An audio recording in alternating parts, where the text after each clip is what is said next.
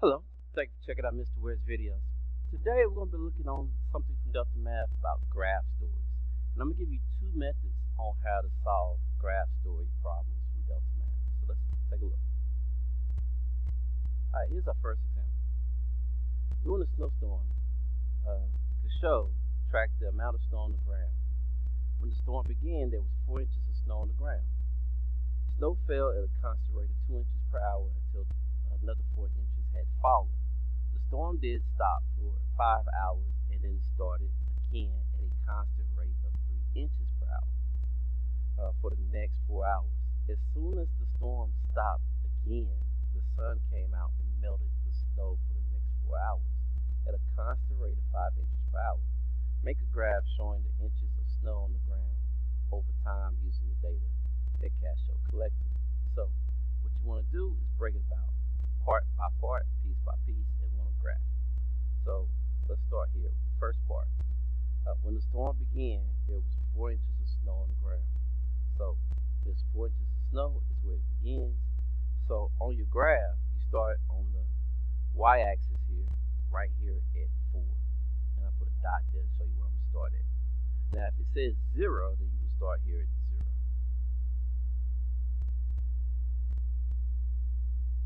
Alright, so the next part, snow fell at a constant rate at 2 inches per hour until another 4 inches had fallen.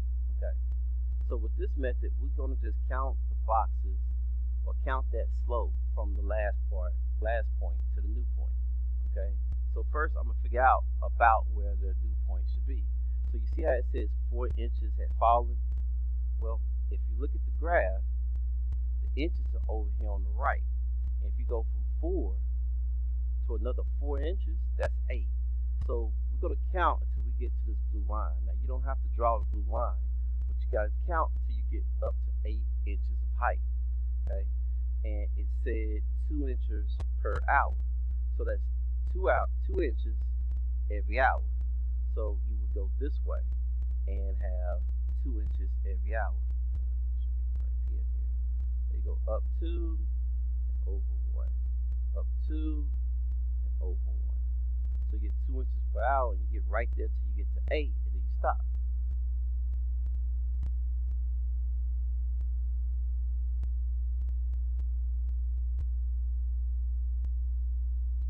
Alright. So during the, uh, the next part is the storm then stopped for 5 hours. So this part is easy. It just stopped. That means it didn't go up or it didn't go down. It just stopped. It didn't melt. Nothing happened. It just stopped for a total of five hours. So the height didn't change for five hours. So all you gotta do is you see if you go five hours from two, that's gonna be seven hours. So you just keep a flat line for uh, five hours until you get to seven. So the height won't change. And again, you don't have to have the blue line. Uh, you definitely don't want it in your answer You just want to draw the, the black line here.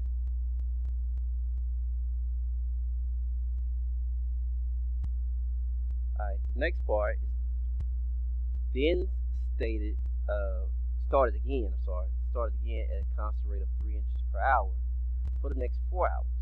So, it started to snow some more and it went up 3 inches per hour for the next 4 hours. So, we're to go, now notice the difference between this and the previous one. The other one was four inches.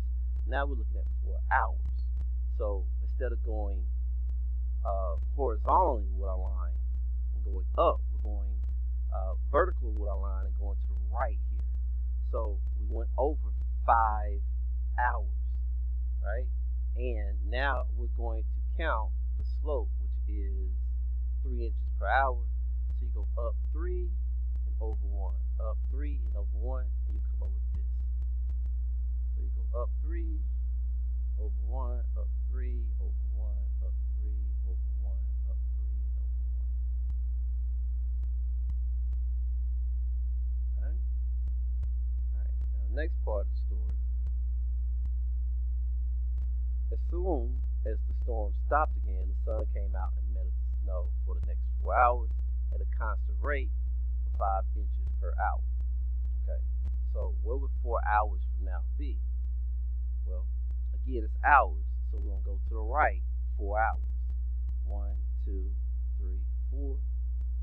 And we're going five inches uh, per hour. But now instead of going up, we're going down.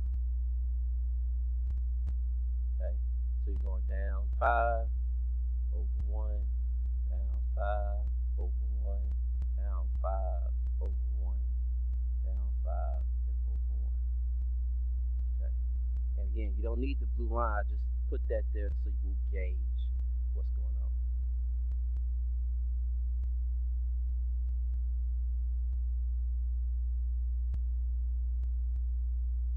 Okay, so that's the first method.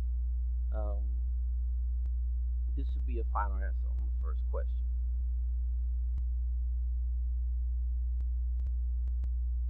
Alright, now let's take a look at another method. Now, you could use, um, it's going to be a different type of problem as far as the, the scenario, but it's the same thing.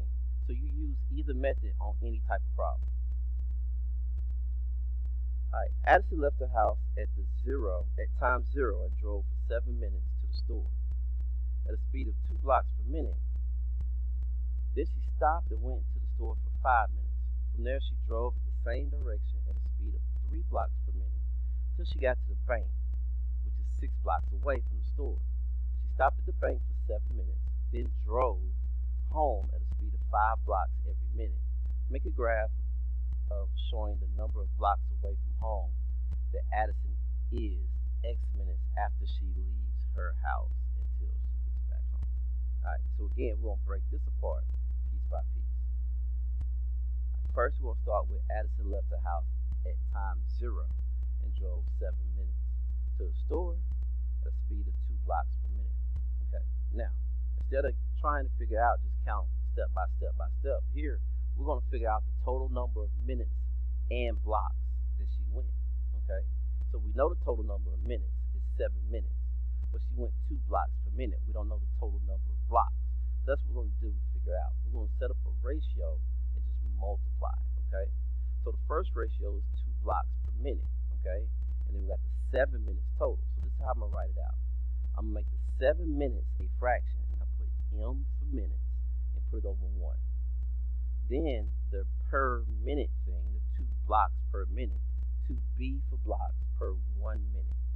So I set this up and I put these um, letters in here. They're not variables to just let you know what you have, but you're going to cancel them out like variables so that you can figure out that your final answer should be blocks. Okay? And you always want to set it up so that the letters can cancel each other out. One on top, one on bottom, one in the numerator, one in the denominator. Okay? So cancel out the m's and then multiply, you have 7 times 2, which is 14, keep the b, and then 1 times 1, which is 1. So you divide 14 divided by 1, and since you still have the b, it's 14 blocks. So we're going to go over 7 minutes and 14 blocks. So you go over 7 minutes and up 14 blocks.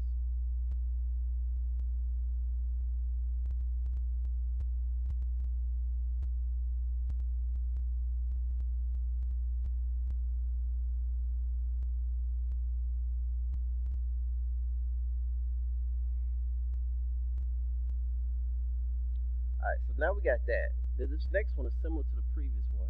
Then she stopped and went to the store for five minutes. So she's not going away or she's not coming closer. She just stopped and went to the store for five minutes. And that would look like this. We go over, count five blocks, five minutes this way.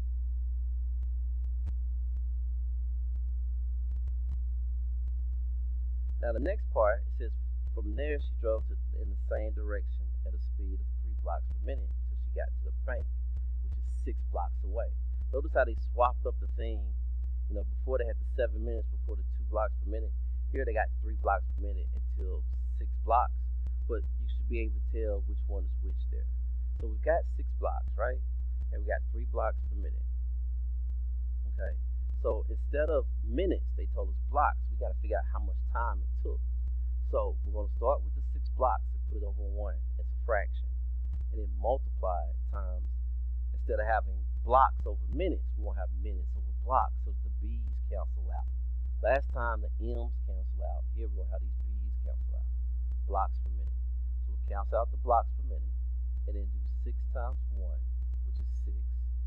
And the M is here. So that's what we're looking for, minutes. So 6 divided by 3 is going to be 2 minutes. So we're going to go two, over 2 minutes and up 6 blocks.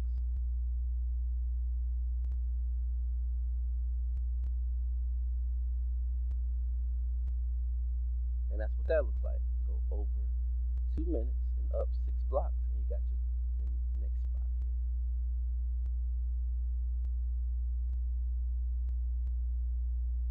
Alright, next we're going to uh, see what she does next. She just stopped at the bank for seven minutes. Stopped at the bank for seven minutes. So I'm gonna put that on the graph. Stop and count seven minutes this way.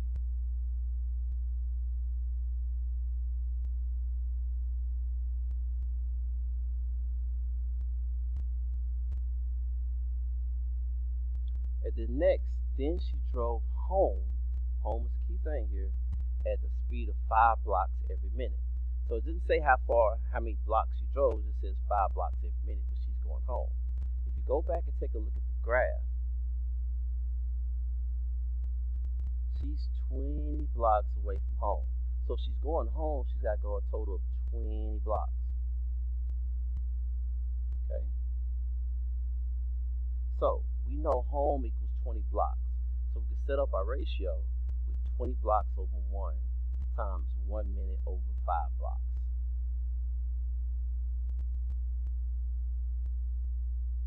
Then the blocks cancel out. 20 times 1 is 20. And then 1 times 5 is 5. And then 20 divided by 5 is going to be 4. 4 minutes.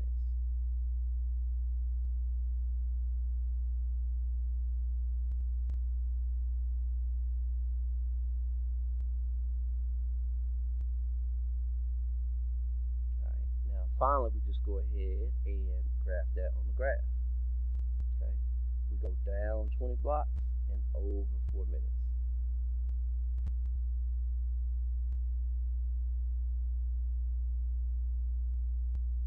And that's it. That is graphing stories.